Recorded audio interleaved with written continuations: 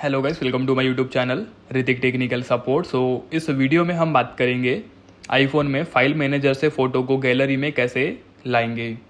ठीक है? First of all please subscribe my YouTube channel and press the bell icon हमें first of all open करना है अपना फ़ाइल uh, मैनेजर ठीक है? यहाँ पे हम फ़ोटोज़ को ला लेते हैं ठीक है? जैसे कि फॉर एग्ज़ाम्पल ये फ़ोटो है और हम इसको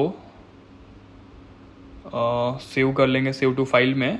ठीक है, इसका टैग भी हम डाल लेते हैं। ठीक है रेड ऑरेंज सेव पे हमने क्लिक कर दिया।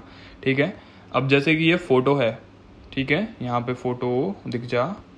तो ये फ़ोटो है। अब अगर हम इस फ़ोटो को लाना चाहते हैं अपने गैलरी में तो सिंपल हम शेयर बटन पे क्लिक करेंगे। और यहाँ पे देखिए आपको एक ऑप्शन मिलता है ना सेव इमेज का। आप इस पर क्लिक करिएगा।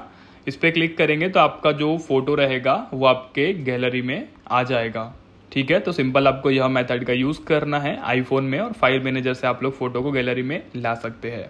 Okay so topic is cover मिलते हैं नेक्स्ट वीडियो में। जय माता दी।